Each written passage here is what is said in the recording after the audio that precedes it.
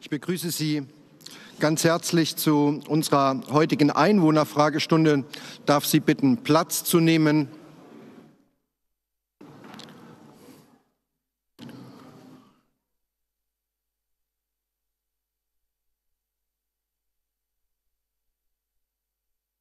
Ich darf Sie bitten, Platz zu nehmen und ähm, darf ähm, alle Anwesenden auch darauf hinweisen, im Kontext der Sitzung des Stadtrates wird der Stadtratsvorsitzende auch auf die allgemeinen Hygienevorschriften eingehen, noch mal dezidiert und en Detail. Ich darf Sie heute informieren, dass Sie, sobald Sie am Platz sitzen, Sie die Mund-Nase-Bedeckung abnehmen können.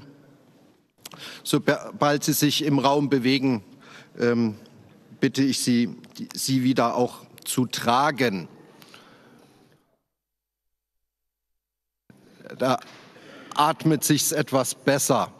Ja, ich informiere Sie, dass das Thüringer Medienbildungszentrum fernsehtechnische Aufnahmen macht und diese live und auf Abruf im Internet zur Verfügung stellt. Mit dem Vortragen Ihrer Anfrage bestätigen Sie, dass Sie mit diesem Vorgehen einverstanden sind. Sollten Sie mit einer Aufzeichnung und Übertragung Ihrer Anfrage nicht einverstanden sein, darf ich Sie alternativ bitten, Ihr Anliegen schriftlich an uns an die Verwaltung zu richten. Bis zum gegenwärtigen Zeitpunkt hat sich ein Fragesteller schriftlich an uns gewendet und ähm, das war Herr Köhler. Herr Köhler, ist der Herr Köhler im Raum? Haben wir Herrn Köhler hier? Da ging es um eine Anfrage zu den Straßenbahnschienen beim Gleis Dreieck Lusan. Ist Herr Köhler hier? Dem ist nicht so. Dann bekommt Herr Köhler seine Frage schriftlich beantwortet. Aber es besteht natürlich selbstverständlich die Möglichkeit, auch jetzt noch Fragen mündlich zu stellen. Gibt es Anfragen wir fangen erst bei den Bürgern an, Herr Brandner, weil die sind nicht so regelmäßig hier zu Gast. Wir machen es dann der Reihenfolge. Herr Kochendörfer, bitte.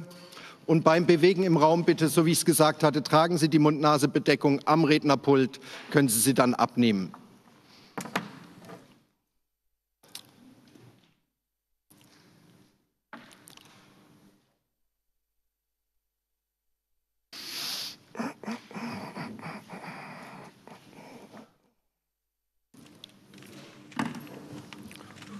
Sehr geehrter Herr Oberbürgermeister, sehr geehrte Damen und Herren, ich habe gleich ein paar Fragen, die eigentlich schon älteren Datums sind. Zunächst freut mich das Stichwort Bürgernähe in der letzten, in der, im letzten Interview des OB. Es gibt halt doch noch Zeiten, wo sich etwas zum, zum Positiven ändern kann. Zunächst zum Radwegeplan habe ich die erste Frage. Wann wird der neue Radwegeplan fertig? Oder wann, was wird mit den Rückständen aus dem alten Radwegeplan? Da gibt es den Punkt 2.9, den ich schon mal hier angesprochen habe. Der, äh, die Verkehrsverbindung Pforten-Zwötzen. Sie war für 2015 geplant. Ist sie noch vorgesehen? Und wenn ja, wann wird sie realisiert? Als nächstes wäre der Bürgersteig zwischen den beiden Unterführungen äh, auf der Strecke Zwötzen-Pforten zu nennen. Er ist schon mehrfach kritisiert worden, auch von, von unserem Ortsteilrat, aber er ist immer noch der Verwilderung freigegeben.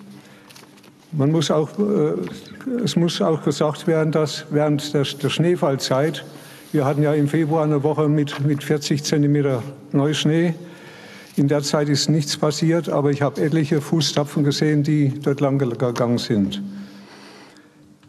und sich Weg geschaffen haben. Aber eine Reinigung erfolgte nicht. Inwieweit ist, ist eigentlich hier eine Straße, ist, ist hier die Straßenreinigungsordnung relevant? Das wäre interessant.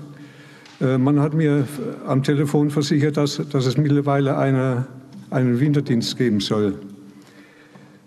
Als nächstes, warum wird äh, zu den perspektivischen Visionen zum Ortsteil Zwötzen. Äh, es ist ja jetzt geplant, einen Radweg nach Keimberg zu bauen. Das ist ja hervorragend.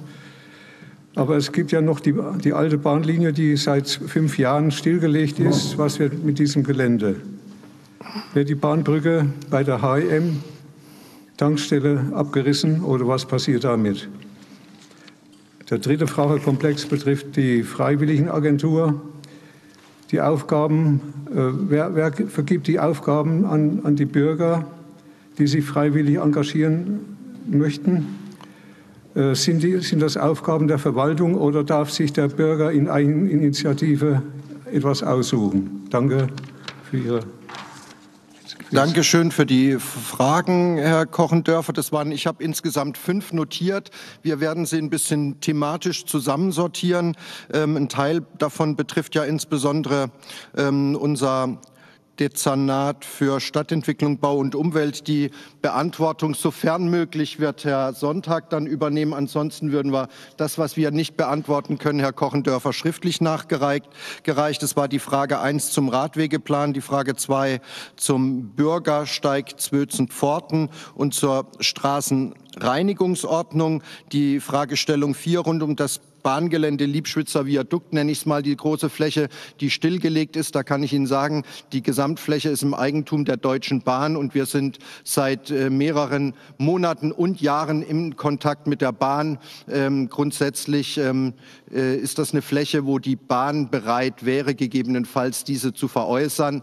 Ähm, ein Erwerb, ein möglicher, äh, würde nur dann Sinn machen, wenn wir einen genauen Plan dafür hätten, was alles dort wie passieren kann. Klammer auf, auch unter Finanzierung Finanzierungsvorbehalt. Und insofern gehen Sie bitte davon aus, dass zu der Thematik inhaltlich ähm, rund um das Bahngelände wir voraussichtlich vielleicht im Jahr 2022 neue Erkenntnisse haben. Zum Thema freiwilligen Agentur sagten Sie, wir haben einerseits die Ehrenamtszentrale, andererseits haben wir den Servicepunkt Generationen. Ähm, der Servicepunkt Generation wiederum ist eine Anlaufstelle, wo Bürgerinnen und Bürger sich informieren können, wenn sie Bedarfe haben, rund um den Kontakt ähm, zur Verwaltung oder zu sonstigen Institutionen und oder Behörden.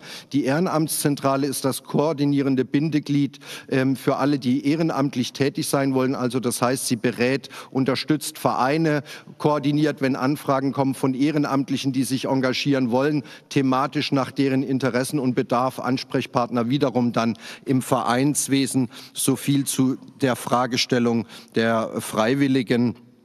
Ansonsten ähm, Freiwillige, da komme ich nachher dann noch drauf, ähm, Freiwillige können auch Wahlhelfer sein, aber da werde ich später noch was dazu sagen. Herr Sonntag, können Sie zu den Punkten Radwegeplan, aktueller Stand Bürgersteig, Zwötzen, Pforten und Straßenreinigungsordnung noch aktuelle Ergänzungen machen? Ähm. Teilweise, ja, zu den ersten Punkten. Sehr geehrter Herr Kochendorfer, ähm, wir sind in der Verwaltung also vor allem im Baudezernat zuständig für das Radwegekonzept. Das ist schon äh, oft Thema gewesen im Stadtrat beziehungsweise auch den Ausschüssen, wie weit das ist, ähm, mehrfach behandelt worden. Wir ähm, müssen gestehen, dass wir das ohne äh, fremde Hilfe eines Planungsbüros in der Verwaltung nicht stemmen können, aufgrund der vielen Aufgaben und vor allem natürlich auch der personellen äh, Situation. Aber wir haben jetzt ähm, diesen Jahr einen Fördermittelantrag gestellt für ähm, Fördermittel für dieses Konzept. Wir erwarten eigentlich noch in diesem Monat eine Aussage des Landesamtes für Bau und Verkehr dass wir ähm, mit Fördermitteln rechnen dürfen und würden dann unmittelbar, wenn wir hier einen sogenannten förderunschäden Formsbeginn vorweisen können, dann auch mit der Beauftragung loslegen, sodass also im zweiten Halbjahr äh, begonnen wird mit diesem Radwegekonzept. Äh, und dann wird natürlich auch, werden die Maßnahmen, die Sie schon erwähnt haben, nochmal neu bewertet, nochmal noch äh, reingenommen. Äh, aber natürlich geht es auch um ein gesamtstädtisches Konzept, was also ähm, auch die aktuellen Entwicklungen mit berücksichtigt, ähm, auch hinsichtlich E-Mobilität, äh, vor allen Dingen ähm, E-Bikes und dergleichen. Das ist ja ein Punkt, der jetzt ganz anders zu bewerten ist. und wir hoffen, dass wir dann ja, ersten Quartal ähm, bzw. erstes Halbjahr 2022 ein Konzept vorliegen haben. Äh, ist natürlich auch vorgesehen, gibt es auch die entsprechenden Beschlusslagen des Stadtrates, dass ja öffentliche Veranstaltungen stattfinden dazu. Und da sind wir also dann ähm, in der Lage, hoffentlich bald mit diesem Konzept zu beginnen. Ja, inhaltlich können Sie sich dann natürlich gerne mit einbringen, aber Ihre Anliegen oder so ist ja, ist ja schon länger bei der Verwaltung auch bekannt. Ähm, zum Punkt Bürgersteig, ähm, gerade dort in dem Bereich, wo die Bahnübergänge sind. Das kann ich nur mitnehmen. Natürlich war das äh, mit diesem Neuschnee in einer sehr kurzen Zeit äh, auch eine Herausforderung für den Winterdienst. Ähm, ganz klar, nicht alles das, was notwendig gewesen wäre, ist geschafft worden, vor allem weil es ja immer weiter geschneit hat. Aber ich nehme das nochmal mit, inwieweit es im, im Plan mit drin ist, äh, dass auch dieser Gehweg gereinigt wird äh, von, von Schnee, nicht nur ähm, das Thema ähm, äh, nicht nur die Straßen. Ähm, zum Thema ähm, Reinigung, auch diese, was Sie gesagt haben, dieser, dieser Verunkrautung dort, das gehen, da gehen wir nach. Ich nehme das nochmal mit in, äh, ans, ans, ans, Fachamt und werde, würde Ihnen dann ähm, natürlich auch Bescheid geben. Soweit meine Ergänzung. Danke. Gab es jetzt eine Nachfrage noch, Herr Kochendörfer, dazu? Äh, Gibt es denn eine Verantwortlichkeit für den Bürgersteig? Hat, ist das der, im Verantwortungsbereich der Stadt oder ist das im, privater, im privaten Verantwortungsbereich? Das ist eigentlich der, das Grundprinzip. Und, und dann habe ich auch noch eine Frage Herr, Herr Kochendörfer, stopp mal, äh, ähm, dass ja auch ähm, andere gerne gibt, die vielleicht Ihre Frage an der anderen Seite des Raumes hören möchten, wenn Sie vielleicht dann wenigstens wieder untertragen der Mund-Nase-Bedeckung, wie es für alle üblich ist, ähm, dann Ihre Frage am Mikrofon artikulieren, dann haben alle was davon. Also Sie haben selbst beantwortet die, die Frage nach, nach der stillgelegten Strecke. Ja. Und äh, mir fehlt eigentlich noch eine Aussage, wann wird denn überhaupt was geplant mit der? Äh, ich habe Ihren Worten entnommen, erst wird gekauft und dann geplant. Kann das nicht umgekehrt sein? Dann haben Sie es leider falsch verstanden, Herr Kochendörfer. Ich habe gesagt, dass wir uns frühestens im nächsten Jahr, also im Jahr 2022, dazu verständigen können, vorausgesetzt, es ist ein Konzept und äh, ein Inhalt zur Nutzung da. Aber eins kann ich Ihnen mit auf den Weg geben, die Verwaltung beschäftigt sich mit dem Thema. Und dann noch die Frage nach den Bürgersteigen.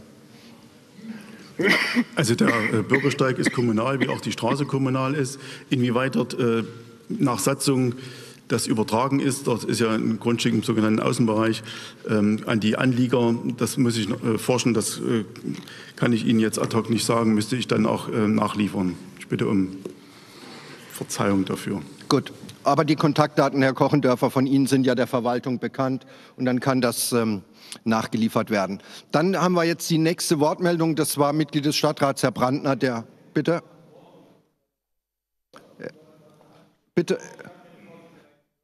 Ähm, ich würde es der Reihenfolge nachmachen. Ich hatte schon Herrn Brandner, der ganz wild gewedelt hat. Und der ist ja nicht nur Mitglied des Stadtrates, sondern wahrscheinlich als Bürger wird er jetzt eine Frage stellen, weil es ist die Einwohnerfragestunde.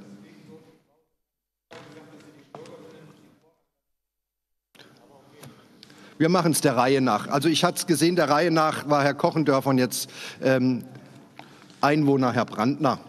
Herr Brandner, bitte genau, Ihre richtig, Einwohnerfrage. Das haben Sie richtig festgestellt. Ich bin ja nicht nur Stadtrat oder Mitglied des Stadtrats, wie man das ja richtig formuliert, sondern auch Bewohner dieser oder Einwohner dieser Stadt. Ich habe nur eine einzige Frage, die richtet sich an den Oberbürgermeister und zwar hinsichtlich seiner Halbzeitbilanz. Da ist in, dem, in der OTZ vom 1. Juli 2021 ein Interview gegeben worden und ich hatte da eine Frage, ist da für mich noch offen. Da werden Sie gefragt, Herr von Ab, hätten Sie noch mehr schaffen wollen in der Vergangenheit? Also das war die Halbzeitbilanz, drei Jahre. Und dann antworten Sie, Zitat, noch mehr? Nein. Ich habe so viel auf den Weg gebracht und umgesetzt, dass ich ein hohes Maß an Zufriedenheit erreicht habe. Das ist schön. Und jetzt kommt der Satz, wo ich gerne nachfrage. Ich darf die Verwaltung und den Stadtrat nicht überfordern.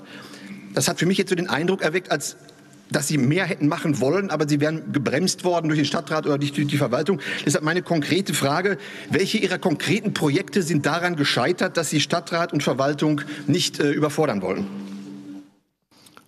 Das ist eine in der, in der Tat spannende Frage, Herr Brandner. Ähm, die Ausführungen dazu, die zu beantworten, würde jetzt aber den Rahmen der Einwohnerfragestunde sprengen, sodass ich ähm, Ihnen mit auf den Weg geben möchte, dass ich das schon insbesondere zu einzelnen Themen, die ich mir vorgenommen hatte, und wir hatten jetzt ein Jahr lang in der gesamten Verwaltung in der Tat wirklich andere Prioritäten zu setzen, dass schon noch das ein oder andere Thema ähm, auf meiner geistigen Agenda war und nach wie vor ist. Und zu gegebener Zeit komme ich dann auch auf Sie zu. Aber jetzt machen wir dann die Frage. Bitte schön, kommen Sie nach vorne ans Mikrofon und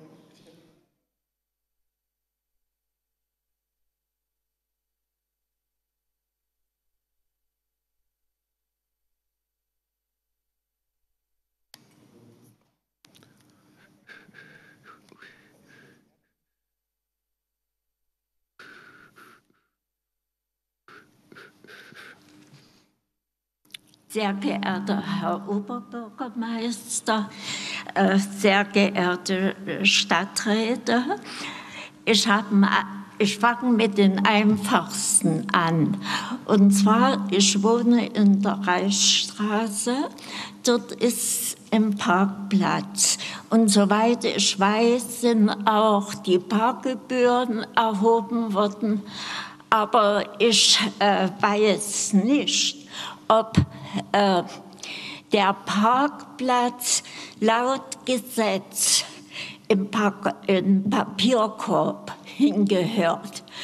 Und ich muss sagen, ähm, die Glück, ich wohne bei der Glück auf, die Glück auf hat ja dort alles neu saniert und alles wunderschön gemacht. Aber der Parkplatz, wenn der Wind geht und der Dreck, Essensreste, äh, Flaschen, alles fliegt darum und das fliegt dann über die äh, Straße, den Gehweg. Da ist ja die Stadt verantwortlich. Und äh, wenn der Wind sehr geht, sogar bis an die Häuser dort. Und ich finde, das ist nicht gut für unsere Stadt.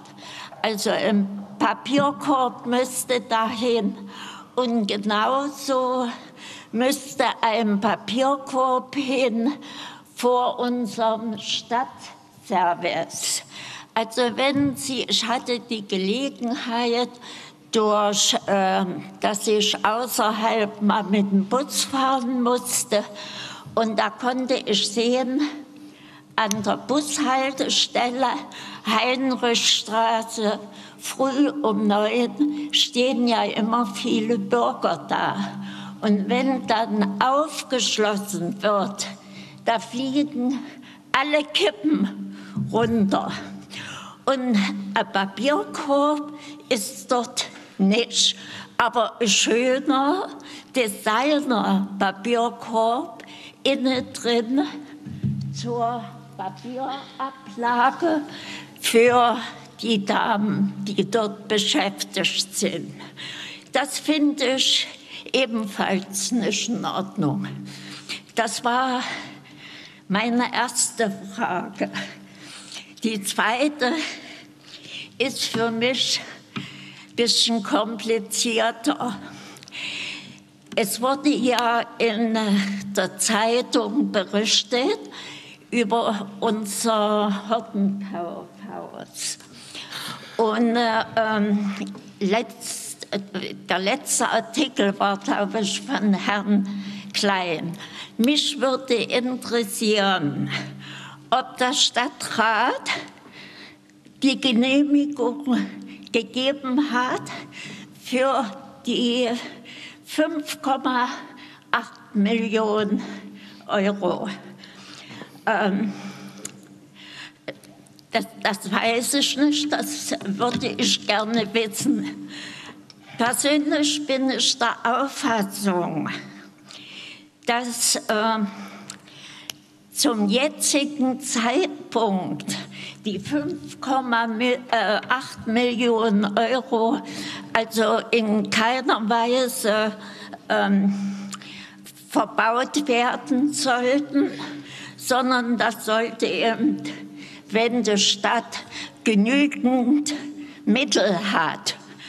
Und wir sind ja eine arme Stadt und das macht sich ja auch bemerkbar an der Kaufkraft unserer Bevölkerung. Ich habe mich sehr gefreut, dass äh, der Stadtrat hier beschlossen hat, für die Händler ähm, also entgegenzukommen in, für, aufgrund der Pandemie. Aber ich bin auch der Auffassung, wenn man das macht, ist richtig, wenn man das macht, dann sollte man alle Bürger derer einbeziehen, weil, weil die Pandemie hat ja alle betroffen, mehr oder weniger. Und da kann man, Herr Oberbürgermeister, auch für die Bevölkerung einen kleinen Lichtblick geben, indem man sagt, äh, wir setzen mal die Grundsteuer und Grunderwerbssteuer etwas runter, etwas, dass das auch ein Signal ausgeht an die gesamte Bevölkerung, nicht nur an die Wirtschaft und nicht nur an die Gewerbetreibenden. Und dann wollte ich auch noch mal fragen, ob wo, wo äh, der, der Käufer für das Hortenkaufhaus 2014 von der Stadt das erhoben hat, erworben hat, ob da ein Konzept vorlag überhaupt. Und wenn kein Konzept vorliegt, dann kann man es auch nicht verkaufen. Das ist meine Meinung. Und äh, äh, da wollte ich überhaupt auch mal fragen, ob überhaupt schon Konzepte vorliegen für das Haus. Nach meiner Auffassung ist das Haus viel zu teuer. Und, und wenn man das macht, dann muss das für die Bevölkerung von Gera insgesamt anziehend sein. Also ein Projekt schaffen, äh, was super ist. Also zum Beispiel kenne ähm, ich... Ver Verzeihung, ähm, das ist eine Einwohnerfragestunde. Ja. Und wenn Sie noch eine Frage, ich habe schon drei notiert, wenn Sie noch eine Frage haben, würde ich Sie jetzt bitten, die auch langsam zu formulieren ähm, dann können wir auch in die Beantwortung kommen. Gut. Haben Sie noch eine Frage? Ja, ich hätte noch eine Frage. Dann bitte formulieren Sie Ihre Frage. Und, und, und zwar wollte ich mal wissen, ob äh, äh, der, Stadt, der, Stadtrat hat das, glaube ich, schon mal angesprochen zu einer äh, äh, äh Versammlung zu den Garagenkomplexen, wie weit man da vorangekommen ist. Nach meiner Auffassung kann man nicht mit zweierlei Maß messen. Und das sollte mal geprüft werden. Gut. Das, war, das waren die Fragen. Also, da könnte ich dann auch noch mal vielleicht einen Hinweis an Herrn Sonntag geben zu der letzten Frage. Das ist gut. Ähm, da kümmern wir uns gleich drum. Also erstmal ganz herzlichen Dank für Ihre Fragestellung. Ich habe mir ähm, drei größere Komplexe äh, notiert. Das erste war die Frage in der Reichsstraße nach einem Parkplatz. Ich bin die Reichsstraße jetzt mal, während Sie gesprochen haben, gedanklich durchgegangen und habe mir überlegt, ob wir hier irgendwo einen städtischen Parkplatz haben. Aber mir ist jetzt ehrlich gesagt spontan keiner eingefallen, sondern das äh, müssten meines Erachtens alles Privatgelände sein, die dort die Parkplätze haben. Haben wir als Stadt einen öffentlichen Parkplatz in der Reichsstraße? Aber ein Parkplatz im Sinne von Parkplatz. Also mir ist keine, ich habe gleich eine Lösung. Ich habe ich hab gleich eine Lösung für Sie. Keine Sorge, ich habe gleich eine Lösung, damit wir das ähm, zu einer Klärung führen. Ähm, das, was wir krass konkret auf alle Fälle mitnehmen, ist ähm, die Situation mit dem Papierkorb vom Einwohnerservice vom H35. Das nehmen wir auf alle Fälle mit, um da äh, Möglichkeiten einer Verbesserung herbeizuführen.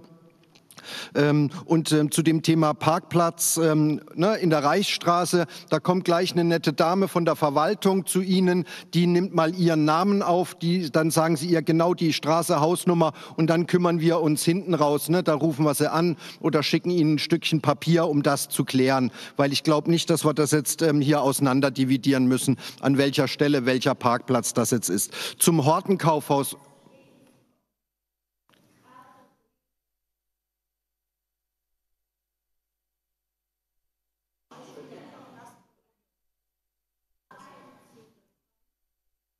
Ach, Sie meinen die, die, Parkstreifen. Ja, dann wissen wir jetzt, wo es ist. Beim Gastronomen gleich zu Beginn. Das kriegen wir hin. Das nehmen wir dann genauso mit als Prüfauftrag äh, zum Thema Papierkorb. Zum Thema Hortenkaufhaus. Sie sprachen von einer Genehmigung über 5,8 Millionen. Ähm, ich muss noch mal vielleicht kurz Klarheit schaffen. Ähm, es gibt derzeit die Möglichkeit, dass die Stadt für das Projekt oder für im Rahmen eines Bundesförderprogrammes nationale Projekte des Städtebaus gegebenenfalls auf ein Fördervolumen in Höhe von 5,8 Millionen zurückgreifen kann. Das wäre das wäre zielgerichtet für dieses spezielle Haus möglich. Das heißt, es ist nicht jetzt Geld, was die Stadt äh, nimmt ähm, aus ihrer eigenen Kasse, sondern es handelt sich hierbei um mögliche Fördermittel, äh, um das Hortenkaufhaus oder Tietz-Kaufhaus nach vorne zu bringen. Ähm, Sie sprachen in dem Kontext und insofern äh, die Entscheidung über Gelder in der Größenordnung obliegt den Damen und Herren hier. Das sind die Mitglieder des Stadtrates, die am Ende des Tages dann entscheiden, ja, nein oder in welcher Konstellation. Die Verwaltung bereitet das im Zweifelsfall für den Stadtrat vor. Sie sprachen davon, Grundsteuer zu senken und oder Grunderwerbsteuer ähm, zu senken. Ähm, grundsätzlich ähm, möchte ich darauf hinweisen, die Grunderwerbsteuer, das ist keine Steuer, die in Hoheit der Stadt erhoben wird, sondern das läuft über das Land und nicht über die Stadt Gera. Da haben wir keinen Einfluss darauf. Theoretisch hätten wir bei der Grundsteuer einen Einfluss darauf. Wir haben es dank der Entscheidung des Stadtrates geschafft, für den Haushalt 2020, also für den letzten Haushalt für ähm, äh, letztes Jahr, hat ähm, auf Vorschlag der Verwaltung der Stadtrat in einem ersten Schritt, in einem ersten Schritt es ermöglicht, dass wir die Gewerbesteuer leicht, ganz, ganz leicht senken konnten. Und wir hatten aufgrund der ungeklärten Lage zum Thema der Grundsteuern bundesweit, weil da gab es gesetzliche Änderungen auf Bundesebene, hatten wir Abstand genommen, das Thema der Grundsteuer zu betrachten. Wir waren und sind in der Prüfung grundsätzlich Steuer Senkungen im Rahmen der Haushaltsaufstellung zu prüfen. Ähm, Sie sehen es uns nach, als Verwaltung konnten wir derzeit keine Potenziale finden, äh, damit die Stadt, die nicht viel Geld hat, noch weniger Geld hätte, ähm, da Senkungen derzeit vorzusehen. Ähm, Sie fragten in dem Kontext beim Hortenkaufhaus, es ist nicht richtig, dass der jetzige Eigentümer das Objekt 2014 von der Stadt erworben hat. Das war, ich weiß nicht, ob es in die ähm, in dem Jahr war, wo Sie angesprochen haben. Aber der jetzige Eigentümer hat es von einem anderen privaten Eigentümer erworben. Und äh, die Thematik des Garagenkomplexes, die würden wir dann noch mal aufnehmen. Wir kommen jetzt zu Ihnen und äh, nehmen Ihre Kontaktdaten auf, dass ähm, wir über das Baudezernat mit Ihnen zu der Fragestellung ähm, Kontakt aufnehmen können. Jetzt würde ich, weil da hinten war noch eine Wortmeldung. Genau, bitteschön.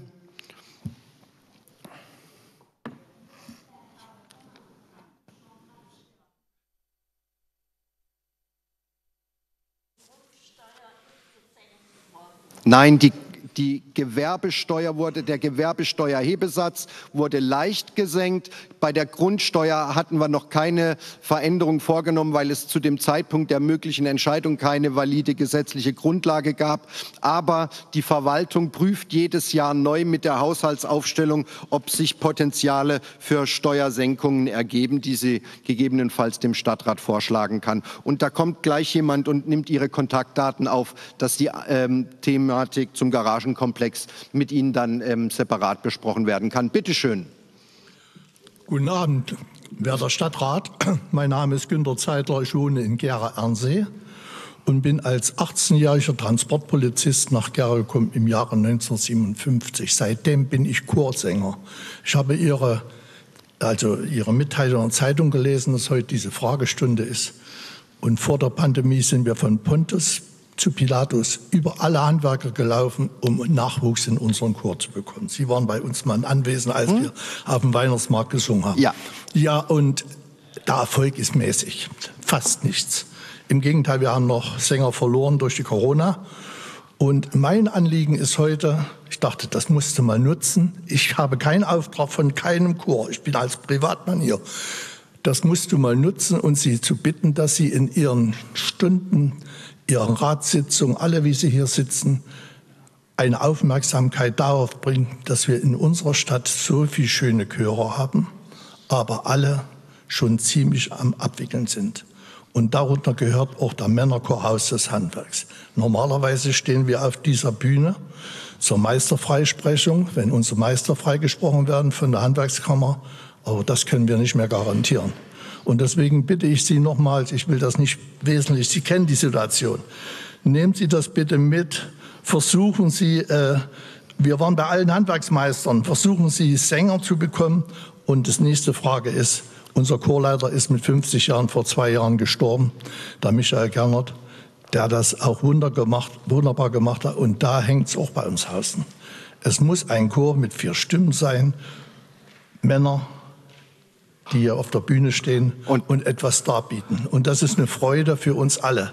Und ich denke, da müssten wir alle dran arbeiten. Gut, also das war jetzt eher ein Werbeblock, damit wir und die Mitglieder des Stadtrates uns gemeinsam dafür engagieren, dass es Nachwuchs auch im ähm, Bereich des ähm, Gesanges gibt. Das nehmen wir gerne wahr. Und ähm, ich habe auch gesehen, der Leiterabteilung Sport und Ehrenamt ist da. Den schicke ich gleich mal noch zu Ihnen rüber, ähm, ob unsere Ehrenamtszentrale bitte flankierend unterstützen kann. Aber danke für den Appell, dass wir dem Gesang wieder mehr Aufmerksamkeit schenken. Danke. Dankeschön. Dankeschön, ich bedanke mich. So, dann hatten wir noch eine Wortmeldung, bitte.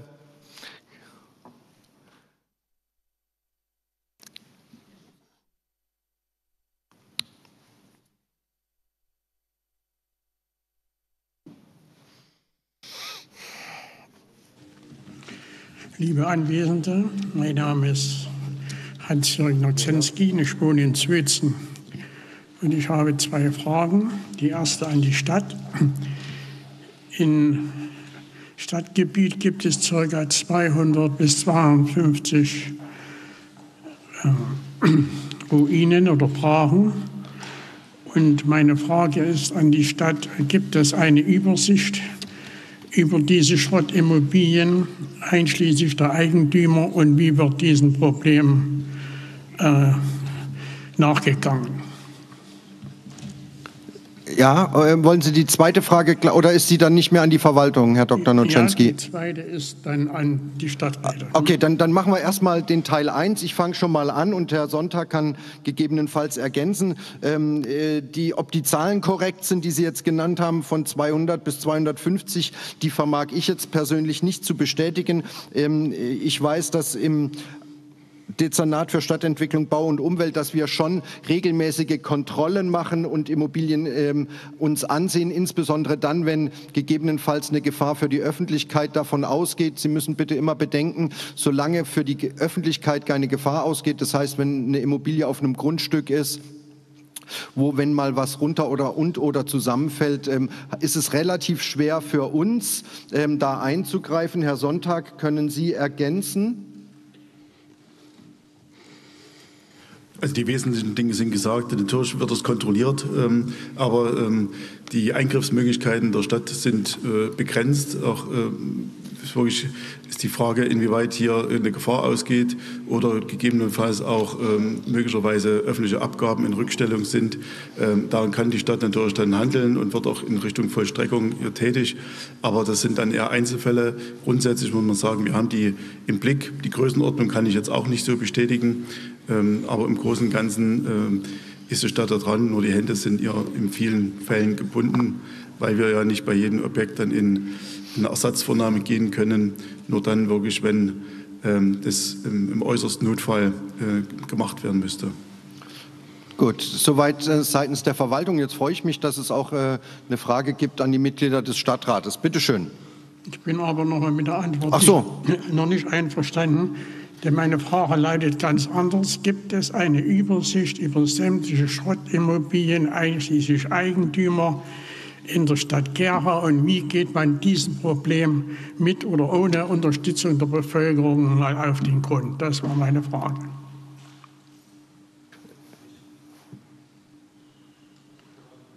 Ähm, Herr, Herr Notschenski, wir, wir, vermögen das jetzt nicht zu sagen, ob es so eine krass konkrete Übersicht gibt.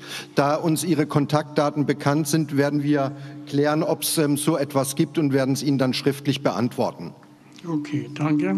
Meine zweite Frage ist an die Stadträte von Grün, Links und SPD. Äh, gibt es Ihrerseits konkret an die Grünen gewandt und an die Person des Herrn Eugen Weber nach den zwei Versuchen der Ablösung des Stadtrates des Herrn Reinhard Etzroth Ihrerseits äh, einen neuen Putschversuch in absehbarer Zeit? Ähm, langsam, langsam, langsam. Also, äh, gäbe es dann noch eine weitere, Herr Notschenski? Ansonsten würde ich dann, weil Herr Eugen Weber war angesprochen, äh, wenn er antworten möchte, würde ich ihm dann sonst äh, das Pult geben, wo Sie jetzt gerade stehen, dass er antworten könnte.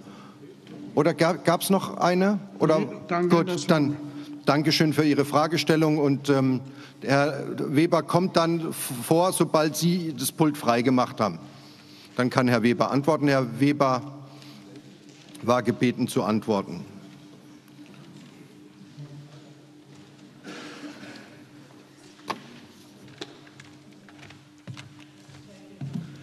Junger Mann, ich denke, die Definition des Begriffes Putsch können Sie gerne nachlesen in Wikipedia oder in einem geeigneten Lexikon. Dergleichen hat nicht stattgefunden. Es war ein Abwahlantrag, der wurde gestellt. Er hat keine Mehrheit gefunden und das war es dann auch gewesen. Wenn Sie die Begründung haben wollen, dann müssen Sie noch mal online gehen und sich meine Rede anhören, weil ich bin nicht geneigt, all meine Argumente zu wiederholen.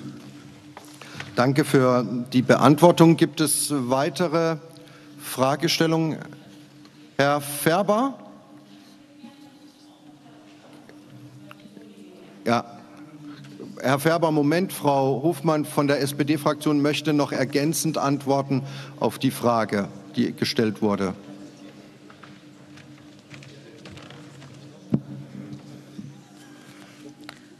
Also ich weiß nicht, was das für ein Demokratieverständnis ist. Das war ein ganz normaler demokratischer Prozess, den wir hier gemacht haben. Es war ein Antrag ähm, auf Abwahl.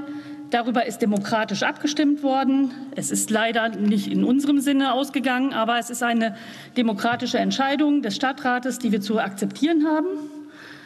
Ähm, und selbstverständlich haben wir jederzeit das Recht, jeden zulässigen Antrag zu stellen. Äh, das ist kein Putschversuch. Äh, das können Sie gerne nachlesen. Wikipedia hat jede Menge Definitionen. Und ich verbitte mir solche äh, solche Unterstellungen, dass es ein Putschversuch ist. Und Sie brauchen jetzt nicht sich weiter zu melden. Sie haben keine Frage. Das ist meine Antwort darauf. Und wenn Sie, wenn Sie nicht wissen, was demokratische Prozesse sind, dann auch das kann man übrigens bei Wikipedia durchaus nachlesen. Dankeschön. Gut, Herr Färber.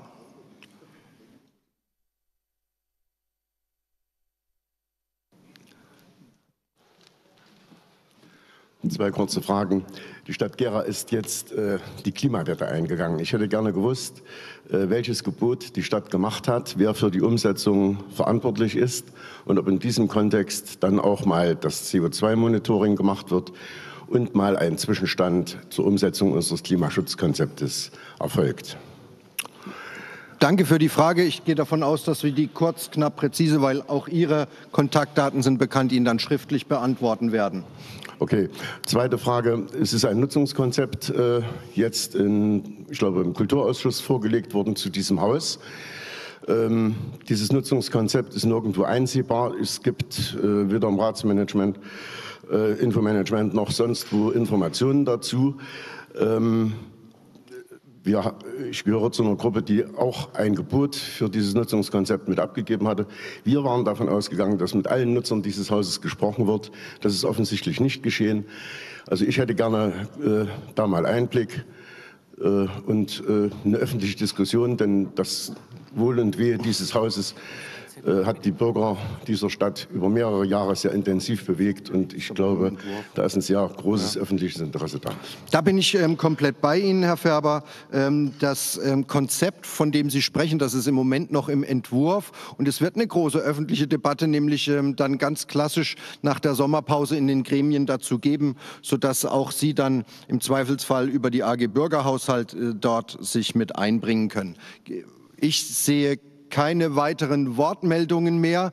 Dann, bevor ich dem ähm, Vorsitzenden des Stadtrates das Wort ähm, übergebe, dass er die Sitzungsleitung übernimmt, möchte ich, und das muss ich tun, ähm, noch mal darauf hinweisen, am 26. September findet mindestens die Bundestagswahl statt, gegebenenfalls auch noch eine Landtagswahl. Und wir als Stadt, die Stadtverwaltung sucht unverändert Wahlhelferinnen und Wahlhelfer, um die Wahlen erfolgreich durchzuführen.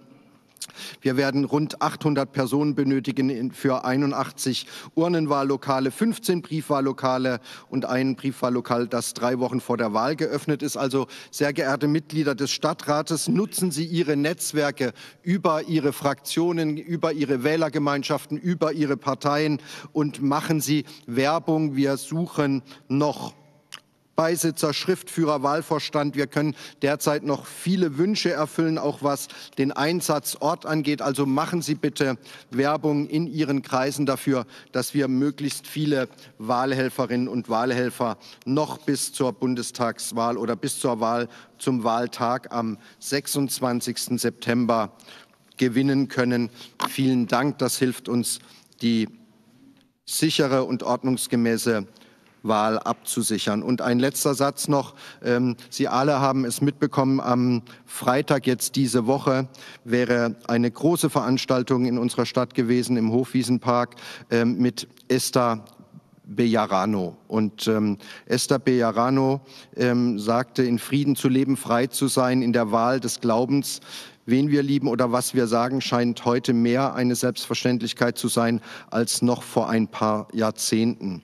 Aber dass es Zeiten gab, in denen Angst das vorherrschende Gefühl vieler Menschen war, das müssen wir uns immer wieder ins Gedächtnis rufen. Und Frau Esther Bejarano wollte diese Woche uns besuchen in einer Veranstaltung, um von ihren Erlebnissen zu berichten und dazu aufzurufen, niemals zu vergessen. Und leider ist ihr das nicht mehr vergönnt, denn vor wenigen Tagen am 10. Juli verstarb die Dame im Alter von 96 Jahren. Und mit ihr verlieren wir, glaube ich, eine herausragende Zeitzeugin, die aufgrund ihres jüdischen Glaubens die Schrecken des Dritten Reiches in den Konzentrationslagern von Auschwitz und Ravensbrück selber schmerzlichst erleben musste. Ihre Eltern und Schwestern wurden ermordet, weil sie Juden waren. Und sie war eine der letzten Überlebenden und starke Zeitzeugin des Konzentrationslagers von Auschwitz. Und sie hat es sich zu ihrer Lebensaufgabe gemacht, von ihren schmerzhaften Erfahrungen zu berichten, immer wieder wachzurufen und sich für Solidarität und Menschlichkeit zu engagieren. Und sie war eine außergewöhnliche Frau und ich glaube, sie verdient all unseren Respekt. Vielen Dank, dass Sie mir jetzt noch zugehört haben und ich übergebe jetzt an den Vorsitzenden, dass er die Stadtratssitzung übernimmt. Dankeschön.